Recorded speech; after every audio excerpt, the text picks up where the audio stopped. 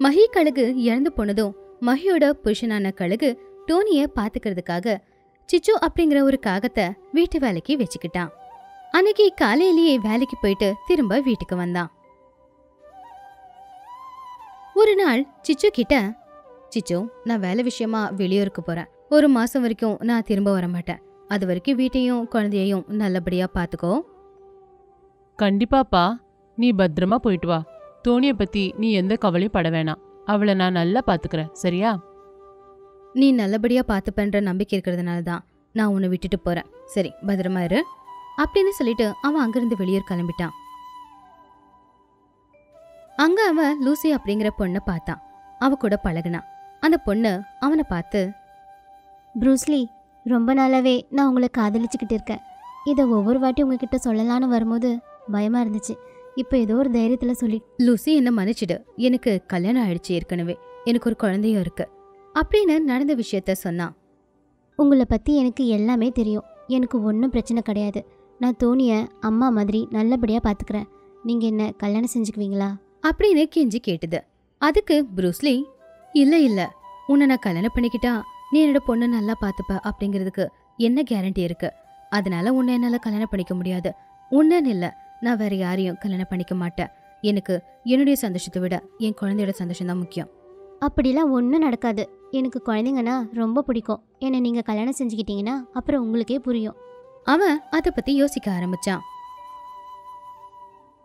கடைசியில Bruce Lee Lucy ரெண்டு பேருமே கல்யாணம் பண்ணிக்கிட்டாங்க. அவளை கல்யாணம் பண்ணி வீட்டுக்கு கூட்டிட்டு வந்தான். அப்போ டோனி கிட்ட பாப்பா இதுதான் உங்க அம்மா அப்படின்னு சொன்னான். அதை கேட்டதும் டோனி ரொம்ப சந்தோஷமா அவளை கட்டிப்பிடிச்சுக்கிட்டு அம்மா அம்மா அப்படின்னு கூப்பிட்டுக்கிட்டு இருந்தா. சிச்சு உனக்கு ரொம்ப நன்றி. இவ்வளவு நாள் என்னுடைய குழந்தைய நல்லபடியா பாத்துக்கிட்ட இப்போ அவளை பார்த்துக்கிறதுக்கு அவளுடைய அம்மா வந்துட்டாங்க. அப்படின்னு அவளுக்கு நன்றி சொல்லி அவகிட்ட கொஞ்சம் பணத்தையும் கொடுத்து அவளை அங்கிருந்து அனுப்பி வச்சான் அடுத்த நாள் டோனி லூசி கிட்ட வந்து சொன்னான் அம்மா எனக்கு ரொம்ப பசிக்குதுமா சாப்பாடு கொடுங்கம்மா. அப்படின்னு கேட்டா. அதுக்கு அவ ஒரு அஞ்சு நிமிஷம் ஆகுமா? அது வரைக்கும் கொஞ்சம் பசியை பொறுத்துக்கோ. அப்படின்னு சொன்னான் அதுக்கு அவளும் சரி அப்படின்னு காத்துக்கிட்டு இருந்தா. அதே நேரத்துல அவளுடைய அப்பா வீட்டுக்கு வந்தான் டோனி என்னம்மா இங்க உட்காந்துட்டு இருக்க? பசிக்குது அப்பா. அப்படின்னு அவ அடுத்த விஷயத்த சொல்றதுக்கு முன்னாடியே அவன் ரொம்ப கோவமா பொண்டாட்டி கிட்ட வந்தான் அதனாலதான் உன்னை கல்யாணம் பண்ணிக்க மாட்டேன்னு சொன்னேன் பசிக்குதுன்னு என் குழந்தை சொல்றா? ஆனா நீ அமைதியா இங்க வந்து உக்காந்துக்கிட்டு இருக்க. உன்னெல்லாம் கல்யாணமே பண்ணிருக்க கூடாது. உன்னை நான் அன்னைக்கே கொண்டு வந்திருக்கணும் அப்படின்னு வாய்க்க வந்தபடியெல்லாம் பேசிக்கிட்டு இருந்தான். எதுக்கு நீங்க என்ன இப்ப திட்டுறீங்க? நான் குழந்தைக்காக தான் சமைச்சுக்கிட்டு இருந்தேன். இதோ இப்ப சாப்பாடு கொடுக்க போறேன். அப்படின்னு சொன்னான். ஆமாப்பா அம்மா எனக்கு சாப்பாடு கொடுக்குறேன்னு தான் சொன்னாங்க. அது தெரியாம நீங்க அம்மாவை திட்டிக்கிட்டு இருக்கீங்க. அப்படின்னு சொன்னான். அதுக்கு அவன் "ஆ, என்னை மன்னிச்சிடு கோவத்துல ஏதோ தெரியாம பேசிட்டேன் அப்படின்னு சொன்னான். அதுக்கு அவ பரவாயில்ல விடுங்க அப்படின்னு சொன்னான். ஆனா அடிக்கடி அவன் இப்படிதான் பண்ணிக்கிட்டு இருந்தான். அவனுக்கு லூசி மேல சந்தேகம் இருந்துச்சு. தன்னுடைய பொண்ணை அவ சரியா பாத்துக்க மாட்டா அப்படின்னு. அப்படி நிறைய அவ சண்டை. லூசி ஒரு நாள் அழுதுகிட்டே சிச்சுவோட வீட்டுக்கு போச்சு. என்னாச்சுமா? என்ன நடந்தது? ஏன் நீ இப்படி இருக்க? நீ இங்க வந்திருக்கனா? அதுக்கு ஏதோ ஒரு காரணம் இருக்கு. அதுக்கு அவ அழுதுகிட்டே என் புருஷனுக்கு நாளுக்கு நாள் என் மேல சந்தேகம் அதிகமாகிட்டே போகுது. நான் தூணியை நல்லபடியா பார்த்துக்க மாட்டேன்னு என் மேல சந்தேகப்பட்டுக்கிட்டு என்னை கஷ்டப்படுத்திக்கிட்டே இருக்காரு. அவர் இப்படி நடந்துக்கிறது எனக்கு ரொம்ப சங்கடமா இருக்கு. நீங்களாச்சும் அவருக்கு புரிய வைக்கிறீங்களா? அப்படின்னு சொன்னான் அதுக்கு அவ நான் அவருக்கு புரிய வைக்கிறேமா நீ கஷ்டப்படாத. அப்படின்னு சொன்னான் அதுக்கப்புறம் அவ அவன்கிட்ட போய் சொன்னான் இங்க பாருப்பா நான் ஒரு அம்மாவா இருந்து இத சொல்றேன். உன் பொண்டாட்டி ரொம்ப நல்லவ. அவ ஒரு சித்தியா இருந்து கூட துணியை ரொம்ப நல்லா பாத்துக்கிறா. நீ எதுக்கு அவளை சந்தேகப்படுற? அவளை கஷ்டப்படுத்தி இந்த மாதிரி பேசாத. அவ ரொம்ப வருத்தப்படுறா. அவ உண்மையாவே குழந்தைய நல்லா கவனிச்சுக்கிறா. அப்படின்னு சொன்னான் அதுக்கு அவன் இல்ல இல்லம்மா என் பொண்ணை எங்கேயாவது கொடுமைப்படுத்திடுவாளோ அப்படின்னு நான் கொஞ்சம் ஜாக்கிரதையா இருக்கேன். மத்தபடி வேற எந்த எண்ணமும் எனக்கு கிடையாது. அவ என்னோட பொண்ணை எப்படி பார்த்துப்பாளோ என்னமோ அப்படிங்கிற பயம் அவ்வளவுதான். அது கேட்டது அவ ஒரு அப்பாவா நீ இப்படி யோசிக்கிறது தப்பு இல்லதான். ஆனா உனக்கு அவளோட உண்மையான சொரூபம் தெரியணும் இல்லையா? ஒன்று செய் ஒரு வாரத்துக்கு வேலை இருக்குன்னு சொல்லிட்டு வெளியே போயிடு. அப்புறம் நீ யாருக்குமே தெரியாம வீட்ல மறைஞ்சிருந்தே அவ குழந்தைய எப்படி கவனிச்சுக்கிறான்னு நல்லா பாரு. அப்படின்னு சொன்னான். அதுக்கு அவனும் சரின்னு சொன்னான். அதுக்கப்புறம் அவன் தன்னுடைய மனைவி கிட்ட போய் லூசி நான் ஒரு வாரம் வேலை விஷயமா வெளியே போறேன். டோனிய பத்திரமா பாத்துக்கோ அப்படின்னு சொன்னான். அதுக்கும் அவளும் சரின்னு சொன்னான். அதுக்கப்புறம் அவன் போன மாதிரி நடிச்சான். அவன் யாருக்கும் தெரியாம அந்த வீட்லயே ஒளிஞ்சிருந்தான். அப்போ லூசிபுரா தன்னுடைய பொண்ணான டோனி கிட்ட டோனி உங்க அப்பா இல்லைல்ல. அதனால நீ எவ்வளோ நேரம் வேணாலும் விளையாடலாம். உனக்கு என்ன வேணுமோ கேளு. நான் செஞ்சு கொடுக்குறேன். உங்க அப்பா இது சாப்பிடக்கூடாது அது சாப்பிடக்கூடாதுன்னு சொல்வாரு. உங்க அப்பா வர்றதுக்குள்ள உனக்கு என்னென்ன சாப்பிடணும்னு ஆசையா இருக்கோ அதெல்லாம் நீ என்கிட்ட கேளு. அம்மா உனக்கு செஞ்சு கொடுக்குறேன். அப்படின்னு சொல்லுச்சு. அதுக்கு டோனி சரிம்மா. அப்படின்னு சொன்னா. அப்படி அம்மா பொண்ணு ரெண்டு பேருமே சந்தோஷமா இருந்தாங்க. அவங்க ரெண்டு பேருக்கும் பிடிச்ச மாதிரியே. அதை எல்லாத்தையும் பார்த்தா அப்பா ஐயோ நான் லூசிய பத்தி ரொம்ப தப்பாவே யோசிச்சுட்டேனே. இன்னைக்கு அவ எப்படிப்பட்டவன்னு எனக்கு நல்லாவே புரிஞ்சுது. அப்படின்னு இன்னையில இருந்து எனக்கு எந்த பயம் இல்ல அப்படின்னு யோசிச்சான். ஒரு வாரம் வரைக்கும் அவன் அங்கேயே இருந்தான் லூசி தாய் இல்லாத அந்த குறையை தீத்தா. ஒரு வாரத்துக்கு அப்புறம் அவன் எதுவும் தெரியாத மாதிரி வீட்டுக்கு வந்தான். டோனி கிட்ட அம்மா உனக்கு இனி எந்த பிரச்சனையும் இல்ல. லூசி உன்னை நல்லபடியா பாத்துக்கிறா. இப்பதான் எனக்கு அவன் மேல நம்பிக்கை வந்திருக்கு. அப்படின்னு தைரியம் கொடுத்துக்கிட்டு இருந்தான். அதுக்கு லூசி அப்பாடா கடவுளோட புண்ணியத்தினால இப்பதான் இவர் என்ன நம்புறாரு? அப்படின்னு ரொம்ப சந்தோஷப்பட்டா. எப்பவும் போலவே டோனியை பார்த்துக்கிட்டு நல்லபடியா சந்தோஷமா வாழ்ந்துகிட்டு இருந்தாங்க. லூசியும் ஒரு குழந்தைய பெத்தெடுத்தா. அந்த நாலு பேருமே சின்ன குடும்பமா அழகான குடும்பமா வாழ்ந்துகிட்டு இருந்தாங்க. திடீர்னு ஒரு நாள் லூசிக்கு உடம்பு சரியில்லாம அவ இறந்து போயிட்டா.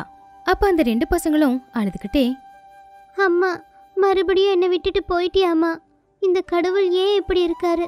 எதுக்கு இப்படி செய்றாரு? என்னோட மொத அம்மாவையும் என்கிட்ட இருந்து பிரிச்சுட்டாரு. இப்போ இந்த அம்மாவையும் என்கிட்ட இருந்து பிரிச்சுட்டாரு. எல்லாரும் பயங்கரமா அழுதாங்க. புருஷன் பசங்க எல்லாருமே ரொம்ப கஷ்டப்பட்டாங்க. லூசி நீ மாற்றாந்தாய் அப்படின்னா யாரும் நம்ப மாட்டாங்க. நீ டோனியை எந்த அளவுக்கு பார்த்துக்கிட்டேன்னு எனக்கு நல்லா தெரியும். உன்னை போய் கடவுள் எங்ககிட்ட இருந்து தூரமாக்கிட்டானே அப்படின்னு அவன் பயங்கரமா அழுதுகிட்டு இருந்தான். அதுக்கப்புறம் நடக்க வேண்டிய எல்லாமே நல்லபடியா நடந்து முடிஞ்சுது. அதுக்கப்புறம் சிச்சுக்காக மறுபடியும் அந்த வீட்டுக்கு வேலைக்காரியா வந்து அந்த ரெண்டு குழந்தைங்களையும் பார்த்துக்கிட்டு இருந்தா நாம ஒன்று நினைச்சா கடவுள் ஒன்று நினைப்பாரு அப்படிங்கறது இந்த கதை மூலமா நாம தெரிஞ்சுக்கிட்டோம். இருக்கிற நாட்களை எந்த பிரச்சனையும் இல்லாம வாழ்றதுதான் நம்மளுடைய கடமையா இருக்கும். டோரா கர்ப்பமா இருந்தா. டோரா நிறமாசமா இருக்கிற தன்னுடைய தோழி லூசிய மழையில ஒரு வண்டியோட உதவியால அவளை ஹாஸ்பிட்டலுக்கு தூக்கிக்கிட்டு போய்கிட்டு இருந்தா. ஆனா எங்கேயுமே ஹாஸ்பிட்டல் இருக்கல. லூசி அழுதுகிட்டே டோரா விட்டுடு. நான் செத்து போகணும்னு கடவுள் முடிவு பண்ணிட்டாரு போல. அப்படின்னு அவ கவலையா சொல்லிக்கிட்டு இருந்தா. அதுக்குள்ள டோராவுக்கும் வலி எடுக்க ஆரம்பிச்சது. அவ தண்ணியிலேயே விழுந்துட்டா. ரெண்டு பேரதும் எதுவும் செய்ய முடியாத ஒரு நிலைமை. அவங்கள காப்பாத்துறது யாரு? இவங்க யாரு? அப்படிங்கறத முத கதைக்குள்ள போய் தெரிஞ்சுக்கலாம். ஒரு அழகான காட்டுக்குள்ள டோரா லூசி ரெண்டு பேருமே நல்ல தோழிகளா வாழ்ந்துகிட்டு இருந்தாங்க. அவங்க புருஷங்க ரெண்டு பேரும் வெளியூருக்கு போயிருந்தாங்க. ரெண்டு பேரும் கர்ப்பமா இருந்தாங்க. அவங்க ஒன்னாதான் இருந்தாங்க. இப்படி இருக்கும்போது ஒரு நாள் பயங்கரமா மழை பெய்ய ஆரம்பிச்சது. அவங்க ரெண்டு பேருமே எங்கேயும் போகாம வீட்லயே பத்திரமா இருந்தாங்க. ஐயோ இந்த மழை ஏந்தா இவ்வளோ அதிகமாக பெஞ்சிக்கிட்டு இருக்குன்னே தெரியலையே. போன வருஷம் மழை இல்லாததுனால விளைச்சலே இல்லை. ஆனால் இந்த வருஷம் பாரு மழை எவ்வளோ அதிகமாக பெஞ்சிக்கிட்டு இருக்கு. விளைஞ்ச பயிரெல்லாம் வீணா போயிடுச்சு. அப்படின்னு அவங்க ரெண்டு பேரும் பேசிக்கிட்டு இருந்தாங்க. இவ்வளவு நாட்கள் ஆனாலும் கூட இன்னும் கொஞ்சம் கூட மழை குறையவே இல்லை. அவங்க ரெண்டு பேருமே வீட்டுக்குள்ளேயே தான் இருந்தாங்க. ஆனா திடீர்னு பெரிய சத்தம் கேட்டுச்சு. அவங்க ரெண்டு பேரும் ரொம்ப பதட்டமா என்ன நடக்குது? அப்படின்னு வாசல்ல வந்து நின்னு பாத்துக்கிட்டு இருந்தாங்க. வெளிய சில பறவைகள் தண்ணியில அடிச்சுக்கிட்டு போய்கிட்டு காப்பாத்துங்க எங்களை யாராச்சும் காப்பாத்துங்க. அப்படின்னு சத்தம் போட்டு கத்திக்கிட்டு இருந்தாங்க. அதை பார்த்து அந்த ரெண்டு பறவைகளும் ரொம்ப பதட்டமா ஐயோ பாவம் கடவுளே வெள்ளத்தில் இப்படி அடிச்சுக்கிட்டு போறாங்களே இவங்களை எப்படியாச்சும் காப்பாத்துங்க கடவுளே. அப்படி பயந்து போய் அவங்க கடவுள்கிட்ட வேண்டிக்கிட்டாங்க. அப்போ திடீர்னு லூசிக்கு வலி ஆரம்பமாச்சு. உடனே டோரா அவளை ஹாஸ்பிட்டலுக்கு கூட்டிட்டு போலாம் அப்படின்னு ஒரு தள்ளு வண்டியில படுக்க வச்சு அந்த மலையில ஹாஸ்பிட்டலுக்கு கூட்டிட்டு போய்கிட்டு இருந்தா. அதுக்குள்ள அவளுக்கும் வலி எடுக்க ஆரம்பிச்சது. அவங்க ரெண்டு பேரும் அங்கேயே விழுந்து தவச்சுக்கிட்டு இருந்தாங்க. அவங்கள யாருமே கண்டுக்கல. அவங்க ரெண்டு பேரும் ரொம்ப கஷ்டப்பட்டுக்கிட்டு சத்தம் போட்டு கத்திக்கிட்டு இருந்தாங்க.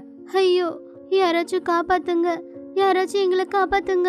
அப்படின்னு ரெண்டு பேரும் கத்தும்போது அவங்கள ஒரு வீட்டுக்குள்ள இருந்து கவனிச்ச மஹி அப்படிங்கிற கழுகு உடனே வெளியே வந்து அவங்கள பார்த்து அவங்க ரெண்டு பேரையும் அவளுடைய வீட்டுக்கு கூட்டிட்டு போனா.